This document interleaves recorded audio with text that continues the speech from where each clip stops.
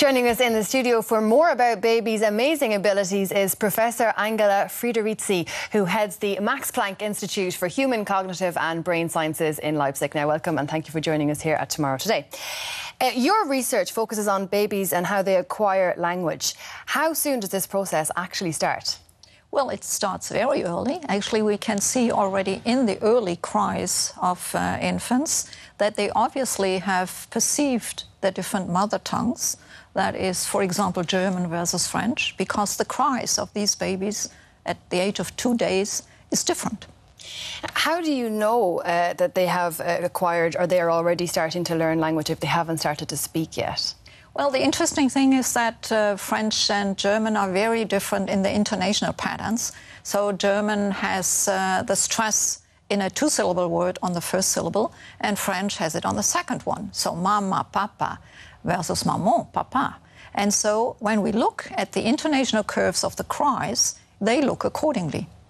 And, and, what about measuring those language abilities in babies before they speak? What methods do you use? Well, later on, I mean, already by the age of two months, you can use uh, the event related brain potential that is putting those electrodes on the head of the infant. And then you present different stimuli and you see sort of how they react. So, for example, you can show that by the age of four months, mm -hmm. the infants can learn already words to go with a particular object they have seen already at four months. It's amazing.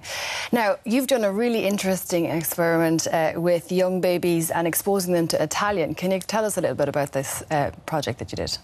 This uh, project was interesting in so far that uh, one either sort of said, well, language syntax, that is the grammar of a language, comes all very late, that is by the age of two years. However, what we could show is that uh, those young infants at the age of four months were able to acquire the relation, a grammatical relation, between an auxiliary and a verb ending. For example, like in English, is running.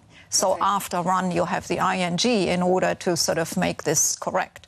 So we were presenting um, correct uh, sentences to those infants for um, three and four and five minutes. And they never had Italian before. They never had Italian before, and then they, you know, listened to correct and incorrect sentences.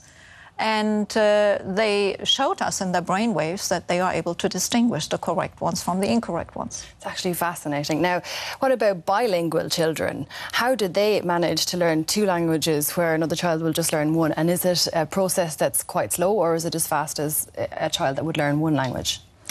Well, uh, the two languages, I mean, the best situation is uh, when the child has a communication partner in one language, say mother in one language and the father in the other language. So then the child will never mix up the languages. When you talk about sort of does that take more time, it does only take more time in the sense that you have to learn more words because you know you are into two languages. So it takes a bit more time to learn the amount of number of words, but when you sort of count those together from say English and German, it's the same amount than another child that only you know, has one language, has learned in the same time. So they're at a distinct advantage straight away in life. Thank you so much for joining us this afternoon here at the, in Tomorrow Today. Thank you. Thank you.